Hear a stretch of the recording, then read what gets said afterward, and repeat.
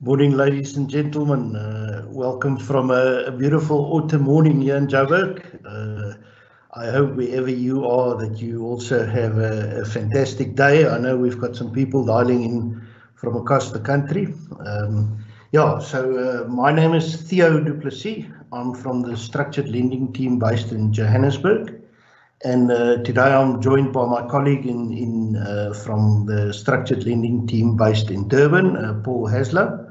Um, Nedbank Private Wealth also have uh, teams based in Cape Town, uh, Pretoria, Bloemfontein, and and then a number of other smaller uh, agencies, if you will, across the country. Uh, you know, to ensure that we can reach our clients um, wherever they are. Um, but for today, uh, Paul and I will be talking to you. Um, this is really around um, Nedbank Private Wealth's unique approach to financing commercial and uh, industrial property. Um, yeah, and, and, and maybe just some housekeeping before we start. Uh, you'll notice that it, uh, the webinar is being recorded. Um, there's a Q&A chat box on the left side, um, so please submit some questions during the webinar. Um, you know, this is a smaller group. It's uh, it's uh, intentionally so, so that we can uh, answer all questions. Um, if your screen happened to freeze, uh, just press the refresh button. It will take you back to where you uh, stopped uh, last in the webinar. Um, we'll also send you an email afterwards um, in the next few days, you know, with a link to the recording, so you can, if we interested you that much, you can you can look at it again, or you can share it with somebody else. Um, yeah, and, and please also remember that you can get more thought leadership insights and recordings of, of previous webinars on our website, and, and you'll also find some information about uh, future um, discussions that we'll be having. Um, and then uh, lastly, just, uh, you know, your, your views are very important to us, so uh, please help us to improve our future webinars by giving your feedback. Um, there, there'll be a short survey at the end of the webinar. So uh, yeah, um, we'll, we'll, appreciate your feedback on that. Now, um, all right, let's get into this. Uh, uh, Paul Haslow um, hosted a webinar late uh, April um, that really focused around um, the state of the property sector uh, uh, as a large sort of industry. Um, he, he had some very uh, clever and uh, well-respected um, uh, panel members. Um, but we got so many questions during that session that that we simply couldn't um, answer all of them. Um, you know, hence the the reason for this discussion. And and so, so today is really to to to take questions, live questions. We'll we we hope we can answer them for you um, but also uh, to provide you to provide you with insight on on on how Nedbank Private Wealth um, looks at deals um, and and considers property finance. You know, and and what do we look for when we finance a property? Because I, th I think if you understand that. Um, you'll you, will you will have a much better idea of, of, of what we can do for you. Um, so yeah, uh, let's let's maybe first start. You know, one of the, the sort of the, I suppose, the starting point in terms of questions that we get is, is what type of, of assets um, uh, will Nedbank Private Wealth finance for you um, or gear for you, um, if you like. So, so first of all, in, in no particular order, you know, we uh, we, we, we through our net Nedbank Private Wealth stockbroking business, we will um, provide carry accounts, uh, which is uh, really nothing else than um, an overdraft, if you will, um, uh, against listed share portfolios. You know, so not only will we um, deal in your shares, we will uh, manage it for you, we will um, advise it for you, uh, provide you with advice on it, but we will also gear it. So we will we we are we are able to lend you against that um, uh, portfolio of shares. And, and as a rule of thumb, uh, it's around 50%, but you know, it's a rule of thumb. It, it depends on the on the underlying investments, you know, so um, uh, yeah. Then um, we will gear or lend against uh, investments that are held or managed uh, locally by Nedbank Private Wealth or internationally by Nedbank Private Wealth We um, we we have representative offices in London, um, the Isle of Man, Jersey, Guernsey, and the and the UAE, and and it's possible for us to lend you in in South Af good old South African rand um, against your your foreign investments. You know, so um, I don't think too many people are aware of that, um, and and it could be cash investments or your foreign um, uh, listed portfolios, you know, share portfolios, um, or any other type of investment that, that we're comfortable with. But the, the, the main thing is we can gear those investments for you. Um, we then also provide vehicle finance through our bankers. We do home loans on, on uh, primary residences for our, our clients. But I, but I think today's focus is, is really on the income producing properties, um, like we like to call it. Um, you know, so that would be investment residential properties, you know, where you, you, you the, the good old buy to let. Um, uh, yeah, so as an asset class, that's that's the first um, income producing property that we will finance. We will also look at um, industrial and, and, and warehouse type properties. Uh, you know, they, they're doing um, fairly well, I think, uh, came out of uh, the previous property webinar. If you dialed in, you know, those properties are still fairly popular at the moment. Um, we'll do retail centres, you know, be it both uh, rural or urban, um, and you know, uh, from the smaller to the bigger stuff. Um, and and then lastly, uh, but definitely least, I think at the moment is is office space. You know, it's it's certainly not the flavour of the year, let alone the flavour of the month at the moment. But but it, uh, you know, it's it's a tendency at the moment, and uh, the market will definitely turn. So, so, so those are the four main um, uh, property types that we will finance: investment, residential, industrial, warehousing type, uh, retail centres. Um, and, and office space. Um, agricultural property, uh, I see a question. Um, agricultural property is specifically financed through our our um, business banking division. You know, so uh, uh, you can contact us. We'll gladly put you in touch with them. But uh, it's they've got um, specialist uh, agricultural teams. Um, you know, it's assessed as a business um, that just happens to be on a farm, I suppose but yeah, um, Nedbank definitely finances um, agricultural property. It's just done through our, our business banking um, division. So right, um, now that we've dealt with what we will finance, I think let's have a look at at um, how do we assess um, uh, these income producing uh, uh, properties when we get a request. So so uh, I always say, you know, if if a friend of yours asks you to to lend him some money, uh, the the first question you should probably ask him is, "How are you going to repay me?" Um, and, and, banks are no different. Uh, you know, that's that's the first thing we want to know. We want to know how you're going to repay me, uh, repay us, I should say. Um, the, the the only difference is it goes a bit further. We need to to establish and to prove how much you can repay, and and over what period. So so yeah, the the the first thing we will always look at um, is the ability to to repay. So, so so so let's start at the basics. I mean, any any income producing property um, will receive gross rent, um, and and and that gross rent, um, I must point out, uh, we will only look at market related gross rent. We have seen um, at the moment, uh, you, you know, there is um, some regression in the market uh, on on the rental uh, that can be charged. You know, so we will only use the the, the market related rent. Um, so we will discount anything that's considered above market. Um, and and and we will really get to that via the or through the formal um, valuation process you know because and, and it's simple. I mean there's comparable uh, rentals for every area. So we will know exactly whether it is market related or not. So that's that's always the first starting point. What is your gross rate thereafter we will obviously subtract your your operating expenses um, and and and we'll um, it's it's all the operating expenses that's not uh, recovered from tenants, you know, so that could be things like insurance, taxes, utilities, security, maintenance, etc., etc. You know, anything that you are not recovering from your um, tenant.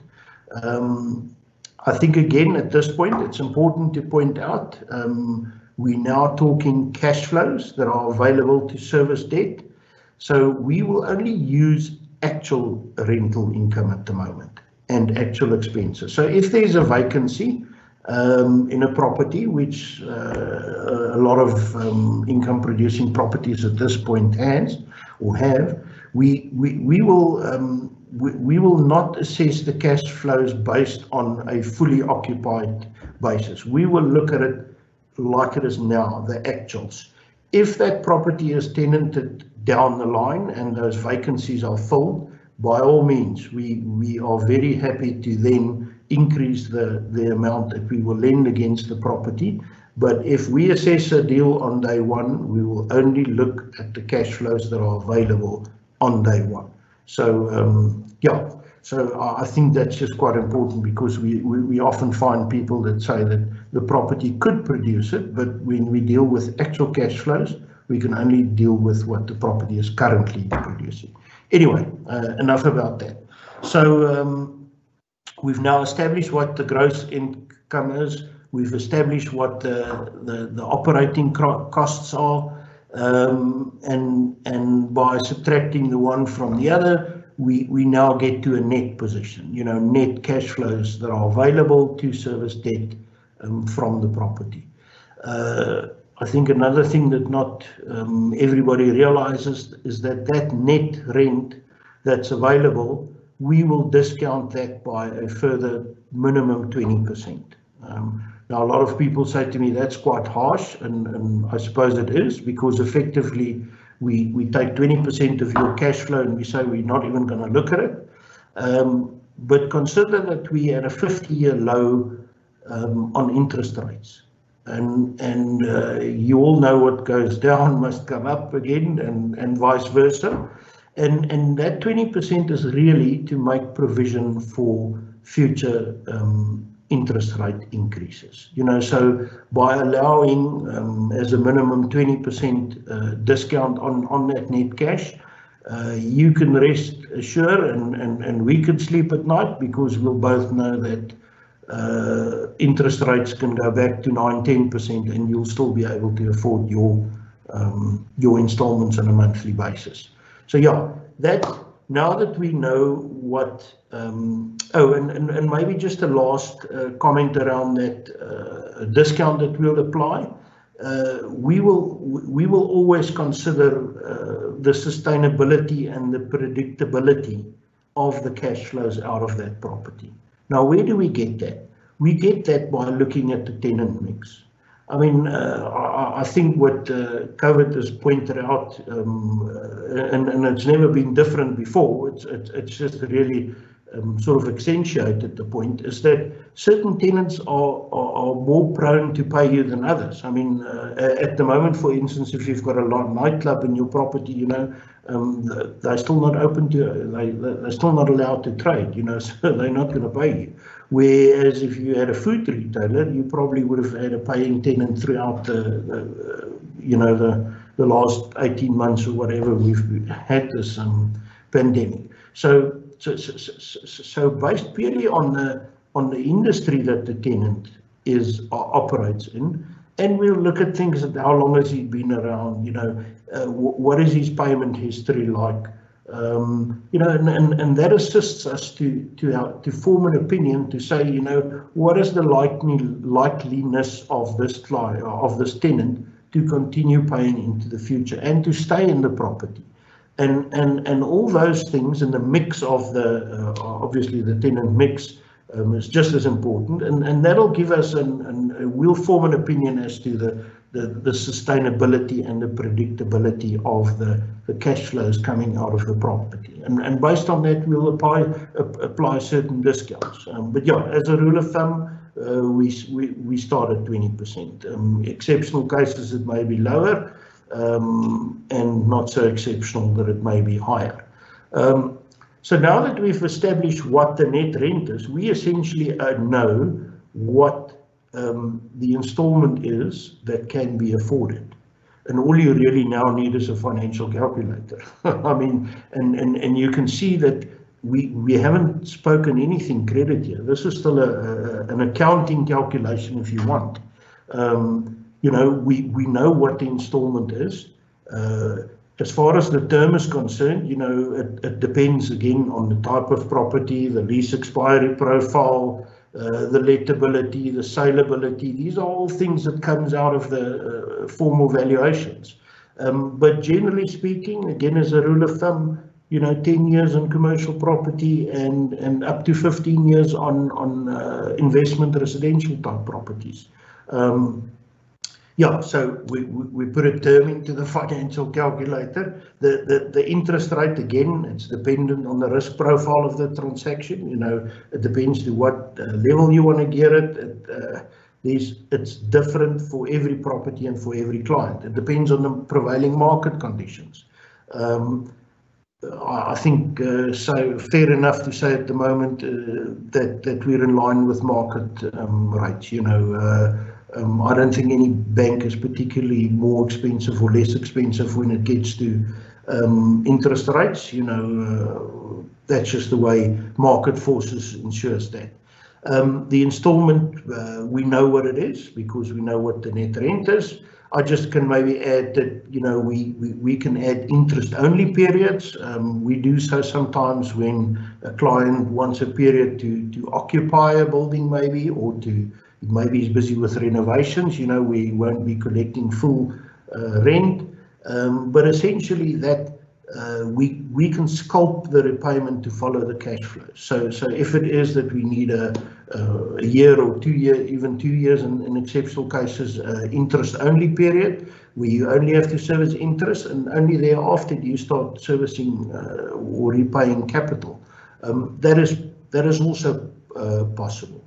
Um, right, and and uh, if you know a financial calculator, if you plug in those four things, you know the the installment, the term, um, the interest rate, uh, it'll give you the the amount, the present value, um, the amount that we can finance, and and yeah, and I mean that amount is tantamount to the loan to value. Uh, you know, most people start and they ask you what what what percentage will you give me on this, and what percentage will you give me on that I don't know. Um, it depends on the cash flows that are available to service debt. And, and, and, I think you'll hear this as a common theme throughout today's discussion. Um, that should always be the driving force in, in financing a property, is the cash flows that are available to service debt. But yeah, um, if you apply the cash flows correctly, um, like I've just described, and, and, and, and obviously a bank is a bit more conservative than than uh, probably when you would do your own calculations, um, you will get to an amount. And, and I can tell you from past experience, if, if we're realistic in our calculations around the cash flows, the, the loan to values or the LTVs will follow automatically. They will be correct.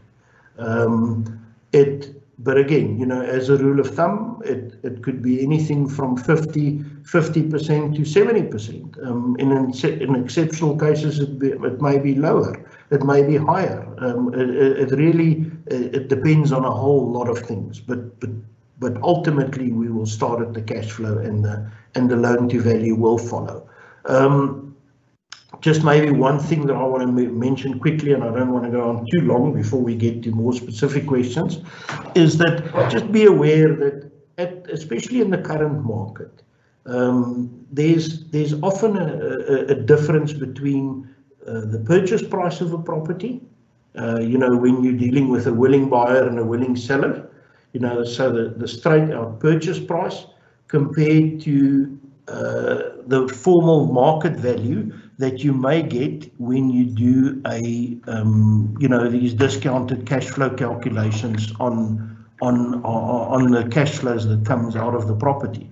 Now, very often at the moment, um, the discounted cash flow calculation is is actually higher than the purchase price. Um, and it's just because of the market where we are at the moment. You know, in a lot of properties there are um, there's surplus properties in the market, which drives down the price. You know, it's supply and demand. It's really as simple as that. Um, but the banks will always use the lower of the two. So if if you if you paying 10 million rand for a property, and and a valuer come and he and he tells you the property is worth uh, 15 million, well well done, you you did a good deal. But I can tell you now, the bank will will only use 10 million as the valuation. So yes, we'll we'll use the the cash flow to determine um, what amount we will get to, but we will still have a cap. Um, make no mistake, we will still say uh, let's call it 56 or, or 65%, sorry, in, in, in this example. So we will still only say we'll do 65% of the 10 million um, and not of the 15 million. And, and, and the reasoning is simple. What you pay today is what that property is worth today. You know, that is the true market value. That's the first thing.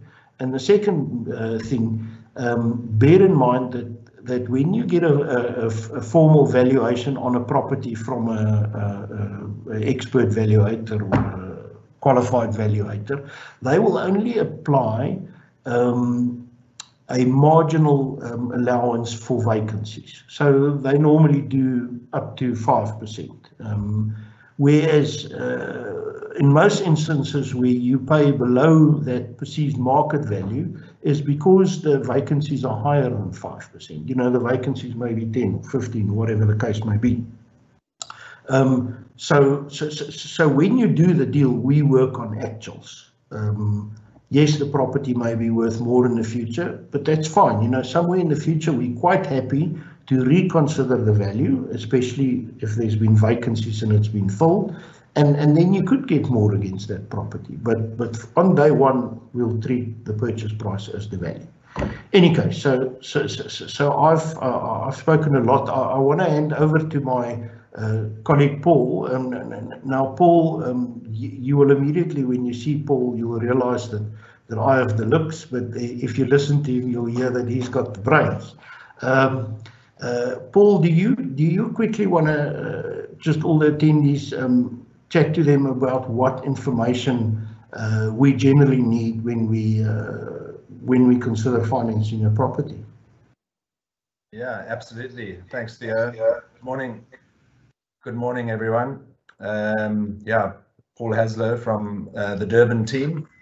Um, yeah, just to, uh, it's kind of, I think the, the theme of our entire uh, presentation this morning is cash flow, cash flow, and how to ensure that you have sufficient cash flow to um, ensure that you can you can service your your obligations um, and and it doesn't and and the property you're buying doesn't end up uh, kind of strangling you um, so the information required is really is two parts. We have the uh, softer kind of information and then the i call it static um, which is the uh, names, addresses, the application form, your ID, uh, the CIPC uh, details, as in uh, the details of the CC or the company, or the um, trust deed letter of authority, depending on how you actually looking to buy or what entity you're looking to buy the property in.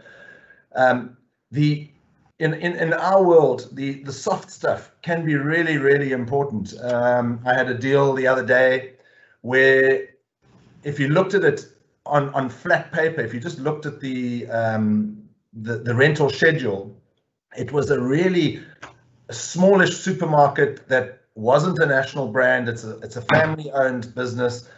Um, but if you actually went into the, if you actually went into the information, you would find out that this family have been in those premises since 1965. So this is what I'm trying to uh, kind of go to with the softer information. It's it's around finding out um, who's in the property, what they're in the property, how long they've been in the property for. Um, you know, there's a lot of softer issues that we need and that can help you get the funding exactly in the same way as a um, lease agreement or the rental schedule can. Um, the difference though is that when we're putting the deal to credit, knowing who you are, knowing the property, knowing details around the property, So it become it comes to your sort of we we need we need the KYC in our world of you, you need the KYC uh, in your world of the property, which we then obviously move on to the, the credit team. The um,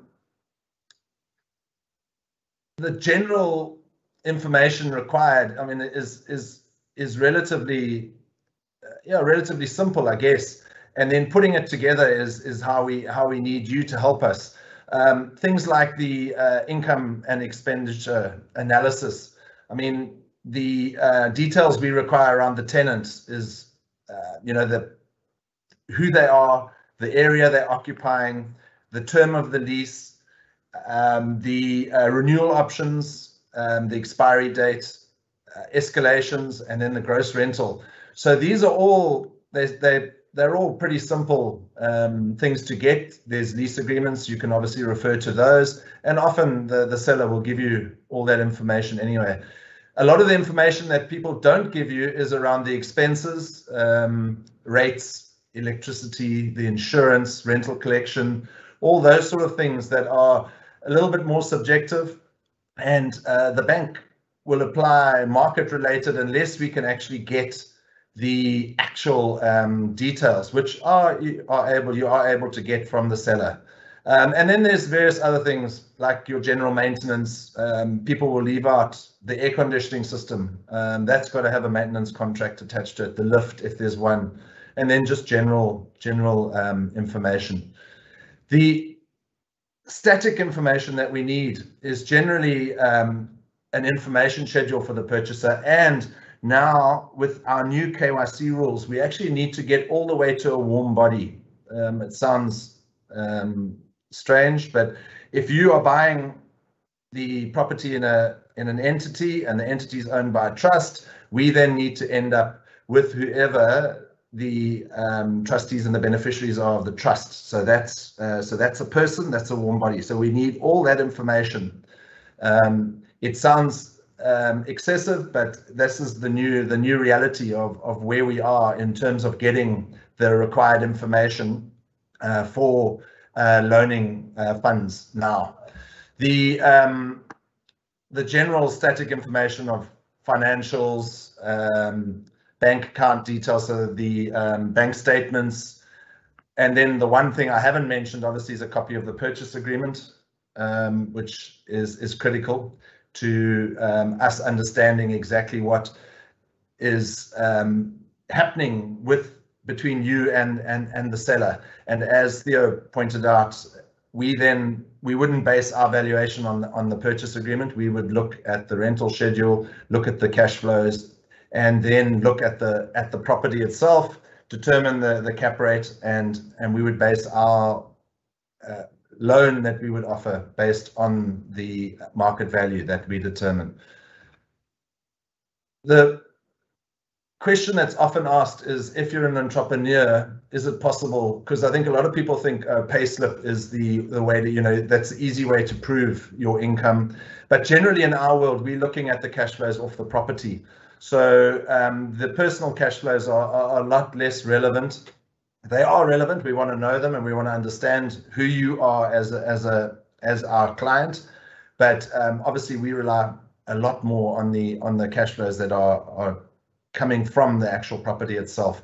But we would need um, your proof of income, your financials for your business, um, and where the financials are older than six months, obviously management accounts to date. The, the balance of the information is, is really static and you would be familiar with that, the IDs, copy of marriage certificates, um, that sort of thing, where we um, are able to, you know, we, we're able to get a lot, I mean, everybody has that, we're able to get that from you quite simply. So in, in any deal, the, the key for us is understanding the property and then understanding you, the purchaser. So it's the softer issues that we often look to as well. The, the valuation and everything else drives the amount and all the rest. But we really need to understand the circumstances and what you're looking to do. Um, are you building a property portfolio? Is it a one-off? There's a lot of information that's soft that we need to be able to to to garner from you in order to put a a really good uh, credit app together. Because if we don't have that kind of the softer information nowadays, it's gonna we're gonna need it, and then what happens is it just delays the process slightly. So most of our consultants will ask you for a lot of that information. They will have conversations with you, I think is a better way of putting it, where they understand who you are and what you're trying to achieve. Um, and that heads towards the whole advice aspect of our of our business. Yeah, Theo, so it, it's we can obviously answer more questions as we go, um, and hopefully people will ask around these um, points that we've made, and we can um, build a little bit on on the scenarios, and maybe we can get to some live live scenarios yeah. now. Where I saw there was a question around a residential property. Yeah, thanks. thanks. Yeah. Uh, thank you, Paul. Um, yeah, let's maybe uh, deal with the um, uh, questions that's been published. Um, so the, the, the, the, first question was um, for uh, investment residential property, um, where finance is required on a, on a vacant, um, well, the property is vacant and it needs to be refurbished. How do you access this, uh, assess the size of the loan? Um, yeah, I, I, think that's a very fair question and, and, and welcome to our life. you know, the, the, the, short answer is with difficulty. Um, uh, but uh, seriously, uh, though, we um, it again boils down to the cash flow, you know, and, and, and, and I'm going to sound like, a, I don't know, like I'm repeating myself, but but ultimately, we would need to know what can be generated out of that property um, as, as net rental income um, to determine what bond it can service. Now, now, yes, we will um, assist in, in, in finance, uh, uh, financing the re refurbishment costs. Um, uh, you know, it, uh, our valuations will also give you an, an, an what we call a, a on, on completion um, value, you know, so you maybe you maybe you bought it maybe for two million rand and you and you spend a million rand, so you would hope that the, the on completion value would be three million rand. You know, uh, uh, believe it or not, it's not always the case, and, and sometimes it goes to five million rand. Who knows? Uh, um, but yeah, the the, uh, the the the big thing is uh, is around um, serviceability. Now obviously whilst it's vacant it's not generating income you know so we would need to go and and look at our client behind uh, the transaction. And that's why it's important that that we have as much as possible um, information that paul alluded to. But also it is easier to make those decisions for for clients that that's got a track record with the bank. You know so if you bank with an with a bank, it makes that decision so much easier. You know, so that is why we always. Uh, I mean, we we we love to have more business of our clients, but one of the reasons behind it is that it makes it easier to make those um, sort of uh, discussions. You know, so so assuming that you can afford at least say the interest on that loan um, uh, that, that you're asking about you know, it could be structured that you only have to service interest until the refurbishment is finished and that you only then start repaying it.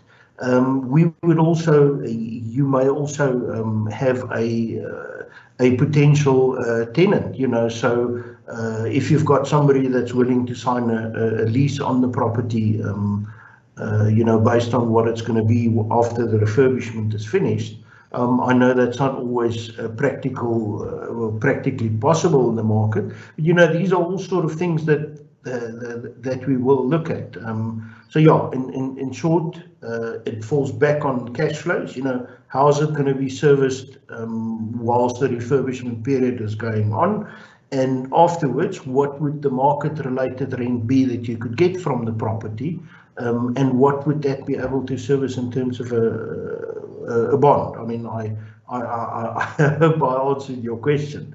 Um, just maybe whilst we're on the topic of, of, of financing refurbishments and um, and developments, uh, you know, we, we, we also often get the question as to whether we finance developments. Um, and, and, and the answer is again, yes, but selectively. Um, you know, we uh, we, we are ultimately a, a, private wealth business. Um, you know, so the majority of developments are done through Nedbank Property Finance, which sits in our corporate um, and investment banking division. Um, but we do do um, uh, development finance. You know, we we um, uh, our biggest. I don't want to use the word constraint, but we will we, we will look at the complexity of the the development. Um, you know, we, we, we do not necessarily have a cap as far as the amount is concerned, um, but we, we've got only so much capacity from a from a back office point of view because we're a, a, a private wealth business, not a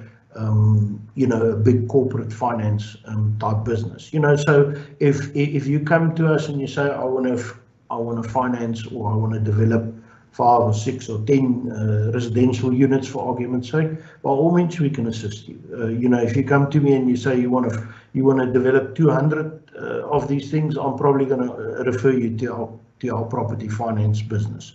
Um, but assuming that we're happy with it, you know, we will follow the same process. Um, I think that that most banks um, uh, follow in that um, our normal considerations will first of all be pre-sales, you know, so uh, we would want to know that you could, by selling the units, we could trade out of the fin finance. And I think it's it's important for you and for the bank um, that we know that you can repay the debt that you take on. Um, if the property is going to be retained and it's going to be uh, tenanted, um, you know, by third parties um, or by yourself maybe, uh, we, we, we would want to see some form of intent from those tenants that say, I will take, I will occupy that space um, once it's fully developed. Um, because again, you know, that, that will tell us something about the cash flows going forward and it, it'll give us that comfort of, of the sustainability and the predictability of the cash flows going forward. So yeah, um, the first consideration will always be pre-sales or leases, um, either signed or, or, or um, letters of intent from tenants. Um, then we would want to make sure that there are professional teams involved, you know, that are, uh, we, we, we don't want these bakkie builders, like they call them.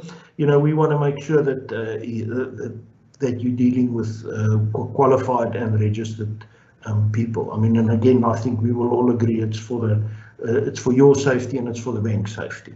Um, turning to the numbers, uh, we, generally will give you 50% um, of the land value up front um, uh, that will give you just once the bond is registered, you know, and that 50% can hopefully, um, not hopefully, it will kickstart the, development cost. And then we, we, will do up to 70% of the development costs thereafter, of the building costs, if you want. Um, I must point out that that excludes VAT. You know, for those who've done developments, you'll know that that's quite a contentious issue um, because these days you wait a bit for your VAT um, uh, from the receiver, but uh, we understand that's also getting better. You know, so but yeah, that that 70, 80 percent level is is is ex VAT. Um, yeah, and and and the and the money will be. Uh, made available on progress draws and it will always be on a cost to completion basis what we call you know we've we've got all these jargon in the banks. But but cost to completion essentially means that your money goes in first. Um, you know so if if a project costs 100 rand to develop you will put we'll do 70 rand you'll do your 30 rand first and the bank 70 rand will follow. And we will always make sure that the amount that's still available under the bond is sufficient to finish the building project.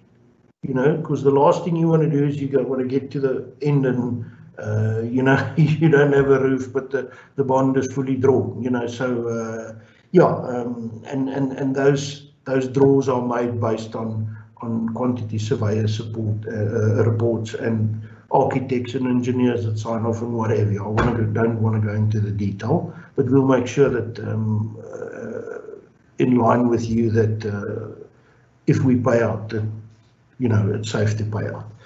Um, so, so that was just around um, uh, development finance. Um, I see another question here around um, just maybe structures You know, how does the size of a loan work when each property is in its own company structure and the ultimate of these companies is a trust? Um, again, you know, uh, the the structure does not change the, the financial fundamentals behind the transaction. So, so you can have a hundred properties in a hundred different companies. Uh, there's there's the one way of looking at it is that each company will get its own own loan over its own property, but again, it will be driven through the cash flows available from that specific property to finance or repay the debt in that company. That's one way of looking at it. So where each one is done on its own, or you can take a, a, bigger view and have a portfolio view, what we call. You know, it is possible to register um, and to do a loan over all, in this instance, 100 uh, properties, even if it's in 100 different companies.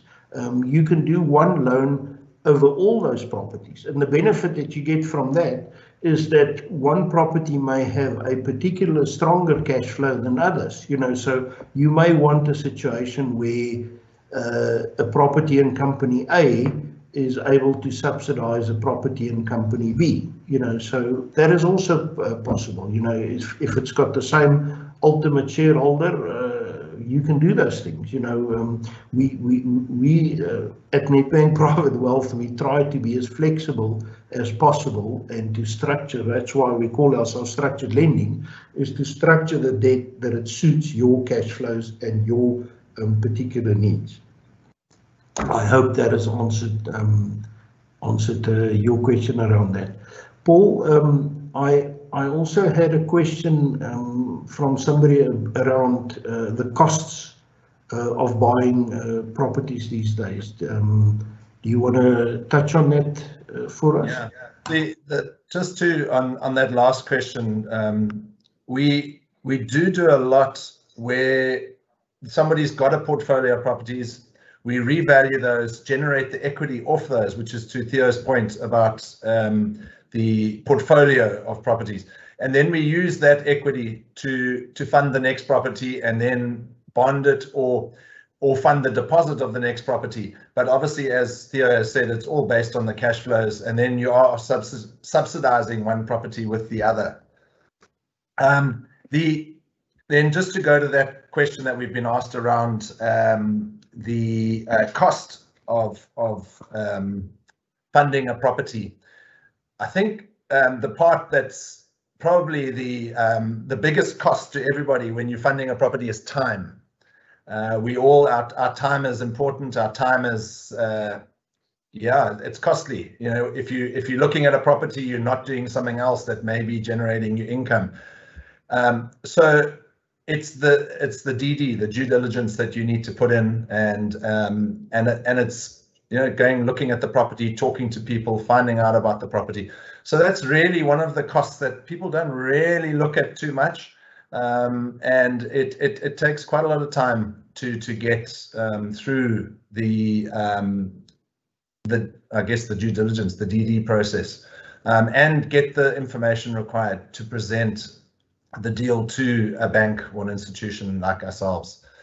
Um, traditionally, as um, Theo has pointed out, uh, the other big cost, the really big cost is, is banks would tend to do uh, sort of somewhere between 60, 70 on commercial industrial property, 60, 70% loan to value. Um, on, on residential and investment properties, it, it'll, it'll go up. You could um, get to 80, even higher than that um, as, as a loan to value. So then your deposit comes down.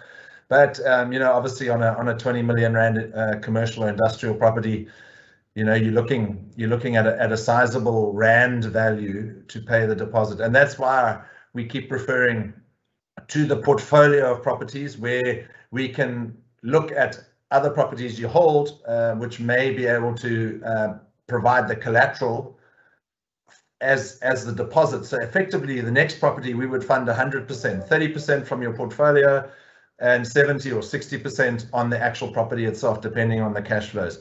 So those are um, those are ideas you need to explore, and um, hopefully you can chat to Theo, myself, our teams, and, and have a look at those options. The other cost, obviously, is the interest rate. Um, everything seems to be trending around prime, 7% at the moment. Residential obviously runs down a little bit uh, into the prime minuses, as does um, the good commercial, the, the good commercial industrial property. You would um, be able to negotiate those rates down slightly.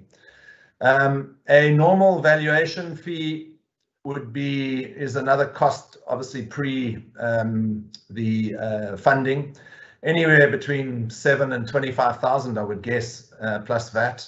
Depending on the market value, it is on a sliding scale or a tiered uh, scale, um, and uh, that's something that pretty much every purchase um, would require. We generally would require a new valuation anywhere between six and 12 months, if the last one is between six and 12 months old.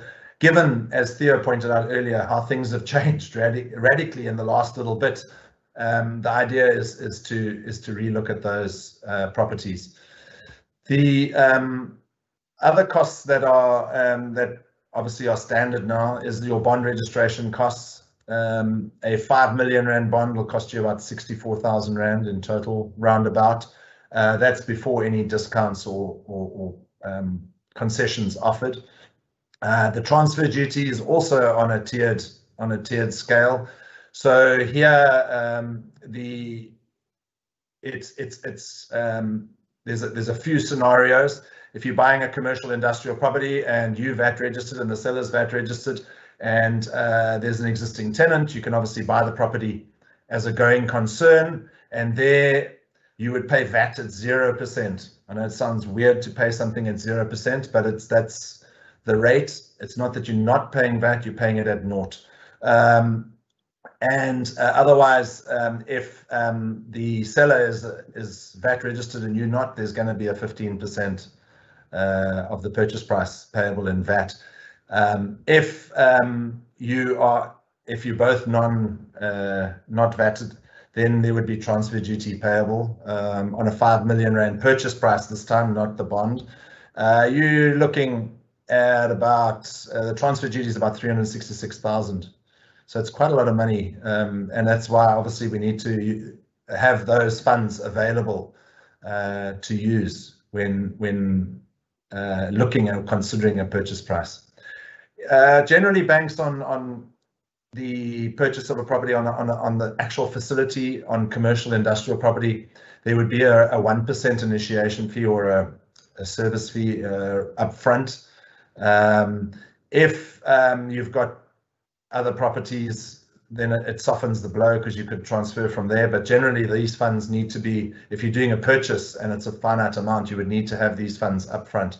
And then the other one, as the, the the question was around repairs and maintenance and uh, TI, uh, tenant installation. If you've got a new tenant, uh, you're going to have to negotiate with the tenant as to what you will pay and what uh, the tenant will pay. Often what happens is you pay for the um, the TI or the tenant installation up front, and then you add it into the rental. So you're getting it back over a period, which again means that you've got to have capital up front to do the, the changes or the and it can be simple things like tiling or putting in a new lift or um, the big one at the moment that we seem to have a lot of people having to do is the um, fire systems, the um, sort of like an irrigation system, I guess, that people have to put into uh, a lot of the buildings.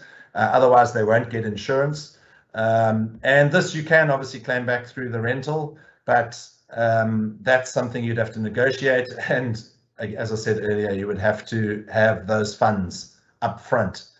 Um, and it, it, can be uh, quite a lot to consider when you're looking at a purchase of a property. Thanks, Theo. Yeah. Okay. Thanks a lot, um, uh, Paul. There, there, there was a question around whether the bank will fund um, the due diligence and the, and the feasibility studies. Um, the short answer is no. the, the, the, the longer answer is maybe. Um, you know, the uh, we, we, we do allow for for some of the deal costs um, to be capitalized into the loan. In in in other words, uh, instead of lending you five million rand, we'll lend you 5.2 million rand to allow um, for certain of the deal fees. Um, normally, though, the deal fees are uh, around valuation costs and and raising fees and those sort of things. So uh, as a rule, I would say no. The the the, the banks will generally not finance due diligence. Um, simply because you do that upfront. Uh, remember, you, when you're still doing that uh, that DD, you haven't decided that you'll finance the property. You know, so if you decide you finance the property, we could consider to have that part of the um, the fees. But uh, it, it, it, again, it, it, depends on how much you want to fi uh, finance overall, who's who's behind the deal, um, those sort of things. You know, uh, there's there's no yes or no on, on on a fee like a DD fee to be financed. Um, I hope that answers your question, Kiran. Um, uh, uh, there's also another question from from Magda. If you bonded two or three properties in, in one loan and use the money to invest in another. How does it work when you decide to sell one of them?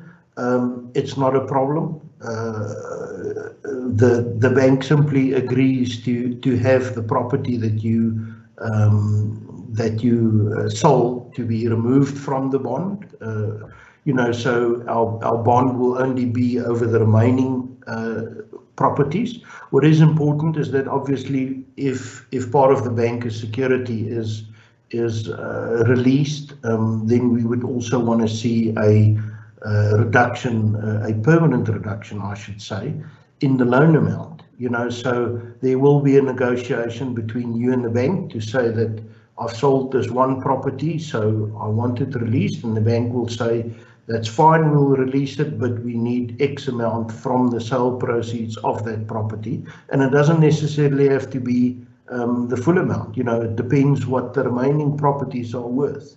Um, so yeah, I, I, I hope that has uh, answered your question around that.